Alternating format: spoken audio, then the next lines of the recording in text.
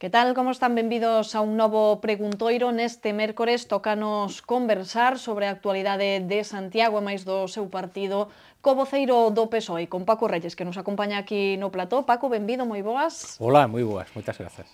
E o asunto que está máis de moda ou que está dando máis que, que falar nestes últimos días esa proposta ou esa idea de fusionar distintos concellos nun mesmo concello, fusionalos con Santiago, pasaría a ser o municipio absorbente de alguna maneira, sai esta proposta do Club Financiero de Santiago, pero é unha idea da que xa se falou máis veces. Vostedes que postura manteñen con respecto a esta idea que non sei se se podería chegar a, a plasmar na realidade? Bueno, pois pues, o primeiro que hai que decir é que, dende logo, efectivamente, a idea non é nova. E eu lembro que a primeira persona que falou, ademais, con moito sentido e moita reflexión sobre a vocación de Santiago de Compostela como cidade cara ao seu crecemento da área e a súa relación ca área metropolitana foi Xerardo Estevez, alcalde uh -huh. socialista de Santiago de Compostela. Eh? Foi o primeiro en que eu lembre en facer un, un deseño e unha reflexión ao respecto. Non? Despois, de unha maneira, evidentemente, moi meno, moito menos reflexiva, pois lembro a proposta de quen foi presentado, e avalado e acompañado por Agustín Hernández como o alcalde que ia resolver todos os problemas de Santiago de Compostela, Gerardo Conderroa que foi o que plantexou a posibilidad dunha fusión entre Santiago de Compostela e Boqueixón. Por lo tanto, isto hai tres anos que foi iso. Por lo tanto, o que está a facer, neste caso, eh, o actual alcalde de Santiago, Agustín Hernández, é recoller unha proposta, unha idea que xa fixo o home que el presentou diante de todos os veciños e veciñas como a gran solución aos problemas de Santiago de Compostela, Gerardo Conterroa. Vale. Por lo tanto, non é un plantexamento novo. O que si é certo é esa vocación metropolitana da nosa, da nosa cidade, o que si é certo é que todo o mundo está a buscar máis eficiencia na prestación dos servizos públicos, a posibilidade de cooperar para ese servizo público común, e, polo tanto, a búsqueda, e a chega, polo tanto, de solucións para esa cooperación. Hai que dicir que, por exemplo, por parte do Partido Popular é curioso que falen da cooperación dos concellos cando eles firmaron a defunción da mancomunidade na nosa comarca. Dicir, é difícil crer e darlle credibilidade a quen eliminou, tendo un instrumento tan potente para a cooperación entre concellos de comarca, pois tiña un instrumento, pero eh, firmou a súa defunción é difícil que teña credibilidade cando agora fala de cooperación ou cando agora fala de fusión.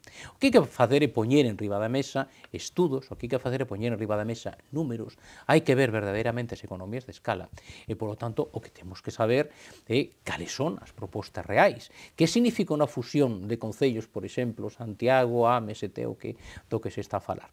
Que os veciños e veciñas de Ames e de Teo van ter que pagar o nivel impositivo de impostos que estamos a pagarnos en Santiago?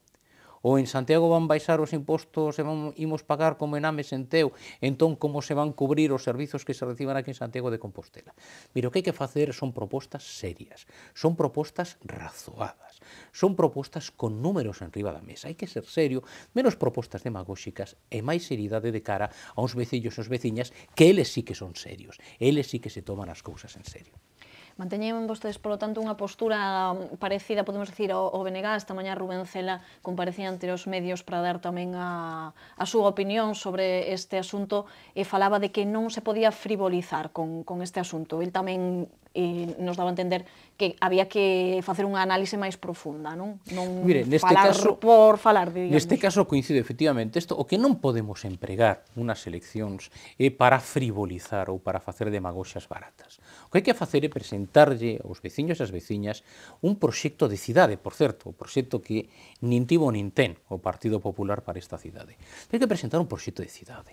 Hai que avaliar as patoloxías que ten a nosa cidade e presentar as propostas propostas, as terapias para poder ir adiante, máis un equipo que a candidatura solvente para poder levar adiante ese proxecto. Nos temos un proxecto cun objetivo moi claro.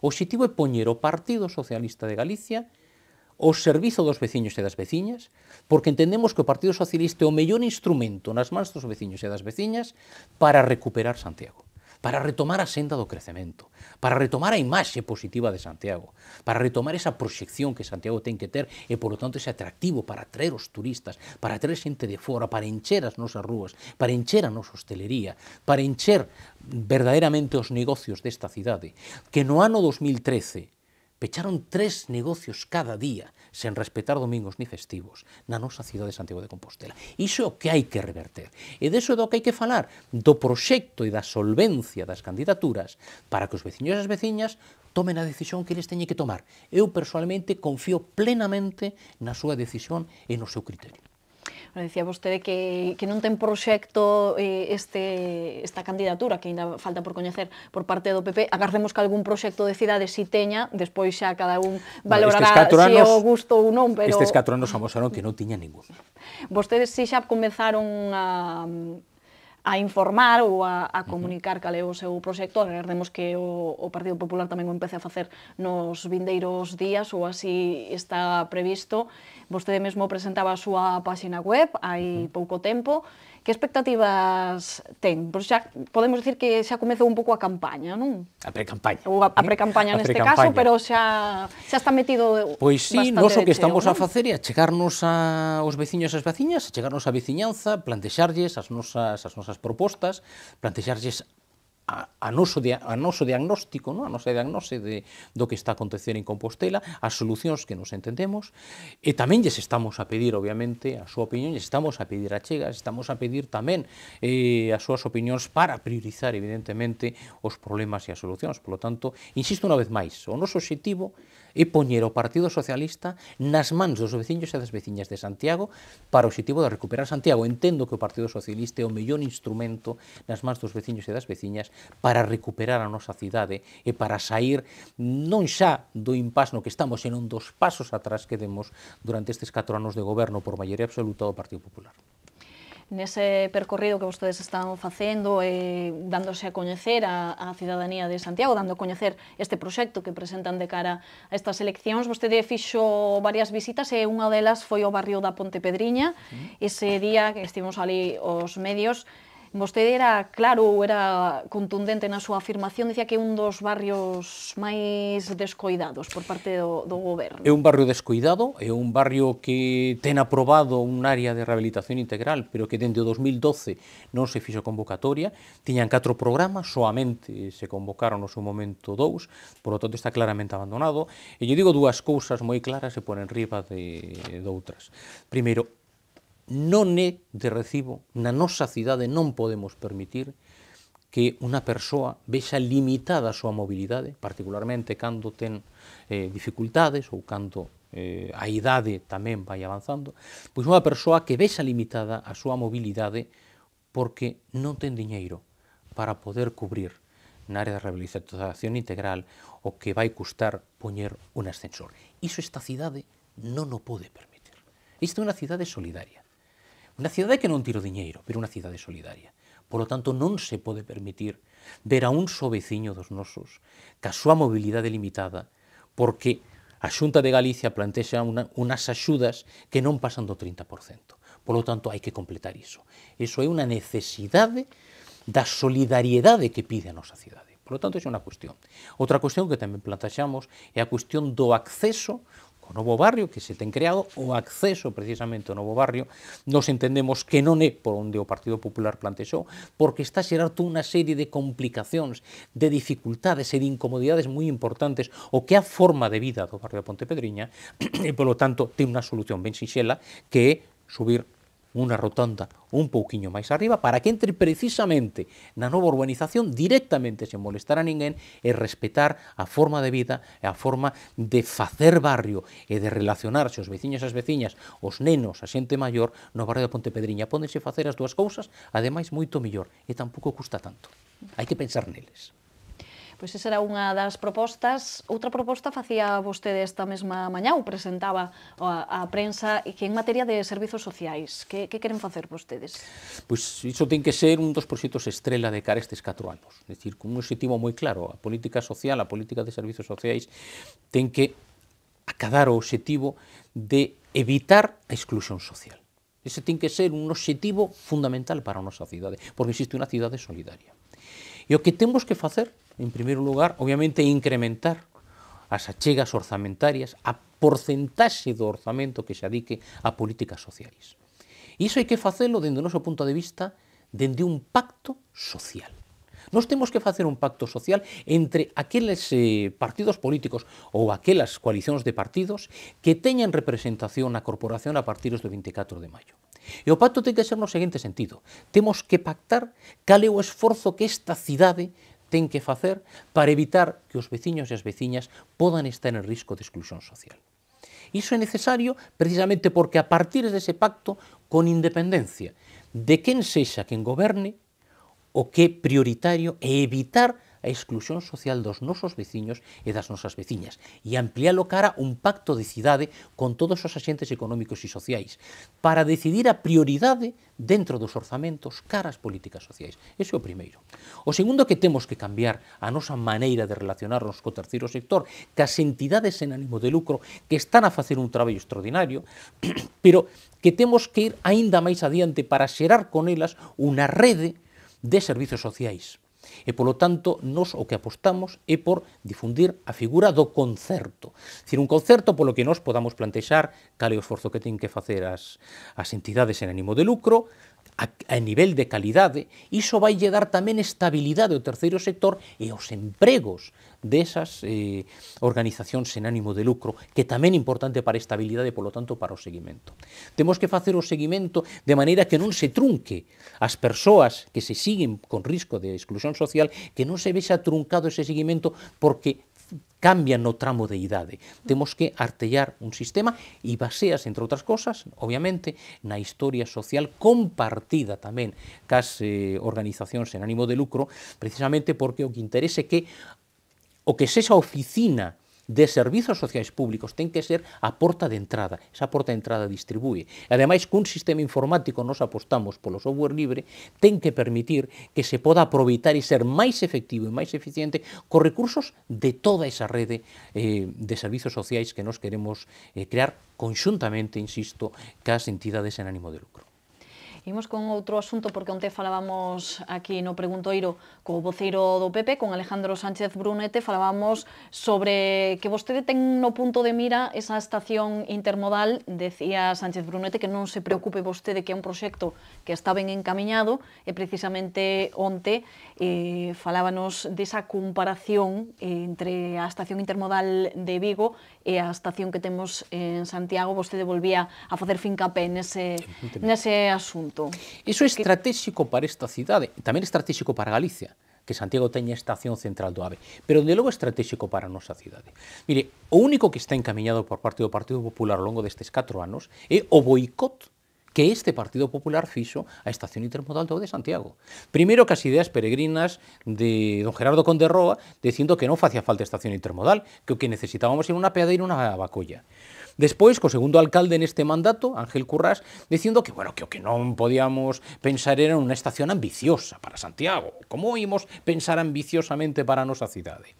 E despois, o terceiro alcalde, Agustín Hernández, asumindo o único que neste momento se coñece do proxecto que é unha ampliación do vestíbulo. Bueno, isto é inaceptable absolutamente inaceptable. É máis inaceptable cando a estación intermodal do AVE é a máis barata de todas as que estaban proxectadas para construir en Galiza 34 millóns de euros.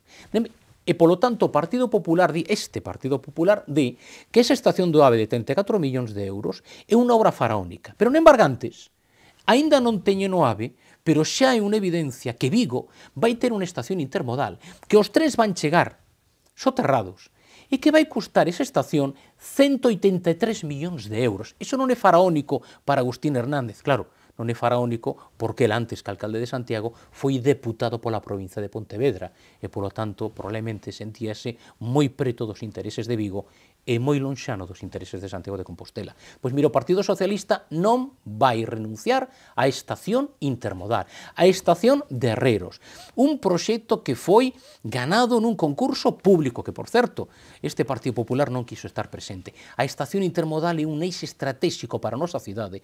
Non podemos renunciar a ela, non imos renunciar a ela, por moito que o Partido Popular a quedra boicotear. Non lle convence, polo tanto, a vostede a idea que transmiten dende o PP de que non se está a renunciar desa, nesa estación intermodal, que non se está a renunciar a ela, senón que si sí están a encamiñar un proxecto. Levamos cat, fíxese, levamos 4 anos, non lle vou dicir onde está a estación, porque a estación de Vigo Urzaiz sí que se ve como avanza. Non lle vou preguntar onde está a estación durante estes 4 anos de gobernos por maioría absoluta do Partido Popular en todas as administracións. Llevo preguntar onde está ese novo proxecto en 4 anos. Perdimos 4 anos. Este Partido Popular nos fixo perder 4 anos nun proxecto estratégico para a cidade así como para Galicia, ca nosa estación intermodal, que fixo Agustín Hernández como conselleiro de infraestructuras, que tiña que dar os 10 millóns para a construción da estación de autobuses eh, o carón da estación intermodal, da estación do AVE para que fora estación intermodal.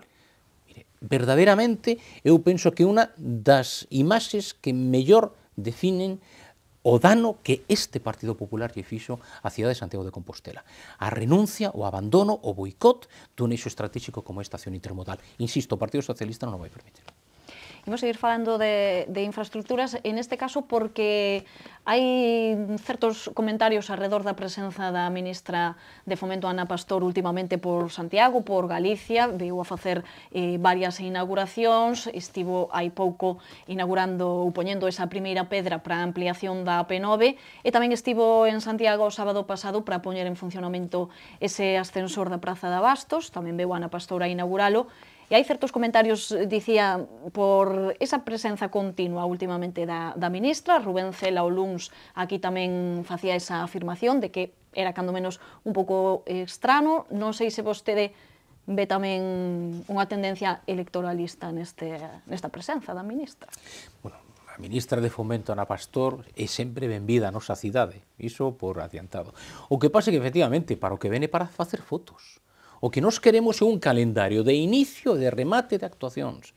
Nos o que queremos é que deixen de vender que van facer as obras con respecto á AP9, obras que están xa aprobadas nun Consello de Ministros de novembro de 2012 polo goberno Zapatero e que levamos tres anos absolutamente perdidos onde están. Cada ano venden que van facer algo. En embargantes non fan nada. Polo tanto, menos venta, menos fotos, máis facer. Mire, o tema da rotonda de Conxo non imos insistir, retrasáronse as obras durante tres meses, pero iso sí, os conflictos, e as problemáticas e as incomodidades para os veciños e as veciñas de Concho e as perdas de ingresos para os comerciantes de Concho, eso sí que o, o sufriron dende o primeiro momento pero as obras non comezaron ata pasados tres meses. E por outra banda, o meu tema do ascensor, o me levamos un ano esperando que se poñe en marcha un ascensor, un ascensor, eh? un ano e o Partido Popular gobernando, insisto, con maioría absoluta nas tres administracións, Concello, Xunta e Estado. Mire, isto, dende logo, non é aceptable. Eu estou convencido de que eh, o que hai que facer, dende logo, é ter moi claras as prioridades de investimentos para a nosa cidade e o que hai que facer clarísimamente é chegar a acordos serios. Pero claro, si mesmo o Ministerio de Fomento, aínda que sexa tamén do Partido Popular, ou se lle dis que estación intermodal non, que o que queres un apadeiro, despois que unha estación intermodal sinxela, que non sexa ambiciosa, despois que non, que, que ampliación do vestíbulo, e que ao final o, o Ministerio de Fomento non sabe que facer contigo nin ca túa cidade. Temos que ter as cosas claras primeiro aquí. E este Partido Popular, insisto, en 4 anos non tivo absolutamente nada claro porque non ten proxecto de cidade. Agora que falábamos de, dese ascensor da praza e deses proxectos claros, dende o PSOE sí que teñen claro que non abogan polo proxecto municipal para a nave 5 do, do mercado e xa falaron coa Asociación Hostelería Compostela para formular outros usos, non? estaba xa no programa electoral do Partido Socialista nas eleccións municipais de 2011. Van seguir por ese no, camiño. No, claro, entón. tú. nós estamos exacto, nós temos un criterio, un criterio que foi pensado, un criterio ademais que foi eh, contrastado ca Asociación de Hostelería que con hai que contrastar, un proxecto que nós entendemos que ten que dar tamén solución ás necesidades e eh, aos intereses da cooperativa que está a xestionar a Praza de Abastos e polo tanto é un proxecto pensado, pero un proxecto xa de 2011, nós non, non mudamos de este criterio. O Partido Popular decía prácticamente o mesmo no seu programa de 2011, pero mudou totalmente de criterio.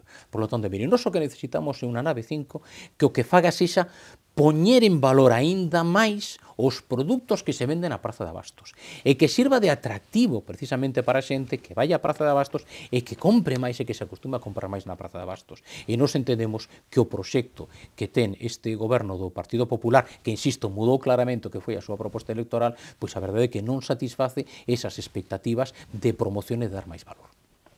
Imos volver a esa carreira que de alguma maneira xa comezou de cara ás eleccións municipais de maio. Vou me referir a Martiño Noriega, o candidato de Compostela Aberta, que presentaba onte aos 15 primeiros membros da, da súa lista, da lista que vai presentar a esas eleccións. En esa presentación mm, lanzaba unha mensaxe á oposición, aos grupos que actualmente están na oposición en Santiago. Dicía que tiñan que esclarecer a súa postura con respecto a facer pactos despois de, dos comicios. Non sei se vostedes o teñen claro, e se nos pode dicir cal é a súa postura. Mire, o alcalde de Teo, que decidiu presentarse para encabezar unha coalición de partidos, lexítima porque está recoñecida esa posibilidade na vixente lei de réxime electoral xeral, pois eh, o certo é que neste caso non se presentou ninguén máis e polo tanto eles non, non tiveron primarias para elixir uh -huh. ese cabeza de, de coalición de partidos, pois, bueno, o que están uns uns outros é exercer os seus dereitos recollidos na nosa Constitución, un Estado, un estado democrático. Non? Co respecto, mm, concretamente, o que dixo, se non lembro mal, o alcalde de Teo foi que non nos confundéramos de inimigos. Non? Uh -huh. Mire, que o Partido Socialista, aqueles que non pensan exactamente como a nos, non nos consideramos inimigos. Nos entendemos que isto é unha democracia, se pode pensar de maneira diferente, e polo tanto para nós non son inimigos. Como moitísimo poderían ser rivais nunha confrontación política, pero non inimigos. Dito isto, mire, o Partido Socialista ten moi clara a situación. A única alternativa ao Partido Popular nesta cidade, a única alternativa ao desastre destes 4 anos de falta de xestión, non? do Partido Popular pois é o Partido Socialista, un Partido Socialista solvente, un Partido Socialista que gobernou esta cidade durante 25 anos, un partido que ten un proxecto de cidade, un partido que presenta unha candidatura non somente renovada, que ademais é un cambio generacional, unha candidatura na que todos os que van na candidatura son profesionais, non precisamente profesionais da política, non estiveron en cargos públicos en goberno nunca, e polo tanto eles teñen a súa, o seu medio de vida, eles veñen a servir a cidade, non veñen a servirse da política nin do Concello, mesmo aqueles que están a estudar, que están a tentar de acabar un outro título, pois están traballando e pagan os seus estudos traballando. E, polo tanto, é unha representación do que é a sociedade, a veciñanza de Santiago de Compostela. E nós o que entendemos é moi claro que o noso objetivo é recuperar Santiago, nos queremos poñer o partido nas mans dos veciños e das veciñas para recuperar a nosa cidade, e nós temos moi claro que eh, os veciños e as veciñas teñen moi bo criterio. E estou convencido de que o noso proxecto e a nosa candidatura vai ter a confianza maioritaria da veciñaza de Santiago de Compostela e imos gobernar esta cidade, imos sair desta situación de impasse, de parálise na que levamos vivindo dende 4 anos. O que viña a dicir, así para aclarar, o que viña a dicir Martiño Noriega con estas declaracións era algo así como que había que unir forzas de algunha maneira para sacar o PP do goberno, para que o PP non, boi, non volva a gobernar en Santiago. Iso sí que é unha idea que, que comparten todos, porque así o expresou vostede aquí, tamén o expresou Rubén Cela, que o que queren é que non goberne o, o PP. O que queremos é recuperar Santiago. O que queremos é recuperar o liderazgo de Santiago no comercio, no turismo. O que queremos é recuperar a senda do emprego para os 8.700 persoas que, segundo a última enquisa da EPA, buscan un emprego e non atopan en Santiago. O que queremos é recuperar precisamente ese ese plan social, ese pacto social para evitar exclusión social das 22.000 persoas que, segundo Cáritas, están en risco de exclusión social en Santiago de Compostela. O que queremos é recuperar esa cidade solidaria e, polo tanto, ateller esa situación de 4.000 veciños ou veciñas que viven unha situación de extrema pobreza. O que queremos é recuperar o mantemento das nosas rúas e deixar de ser fochancas cities. O que queremos é recuperar o mantemento dos nosos colexios que levamos tres anos vendo como os nenos de Compostela, nos CEIP, eh, están nas clases con humidades e sen mantemento. O que queremos é recuperar o pulso da nosa cidade. Iso é o que nos interesa a nós. E, polo tanto, o, o que estamos é convencidos de que a única posibilidade de poder recuperar todo iso fronte ao desastre de xestión ou de falta de xestión do Partido Popular é o PSDG a PSOE de Compostela. Diso sí que estamos convencidos. Bueno, polo tanto, están vostedes eh, centrados no que é a súa campaña, as súas ideas non están aínda, ou polo menos de momento, eh, non están pensando no que no que fagan outros Pero partidos no, nin outras agrupacións. O noso compromiso é cos veciños e cas veciñas, o noso compromiso é ca cidade. E, polo tanto, iso dedicámonos a explicarlles o noso proxecto, a presentar a nosa candidatura, para que les elixan. De definitiva, van ter que elixir entre o desastre manifesto dun Partido Popular que tiña maioría absoluta, que tiña confianza maioritaria para ter levado esta cidade a, a un desenvolvemento e que o resultado é o que todo o mundo pode ver, ou ben unha opción que o alcalde de Teo, eh, encabezando unha coalición de partidos, ou un partido socialista, que gobernou esta cidade, insisto, durante 25 anos con solvencia, que a gobernou con maior... sempre como quiso os veciños e as veciñas, a gobernou con maioría absoluta. O alcalde Xerardo Estevez, máis que solvente.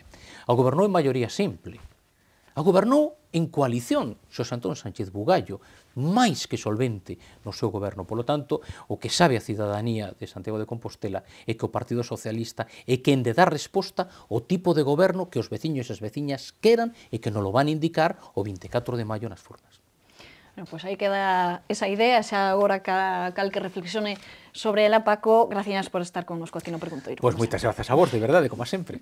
E mañá volvemos con máis entrevistas. Gracias por atendernos.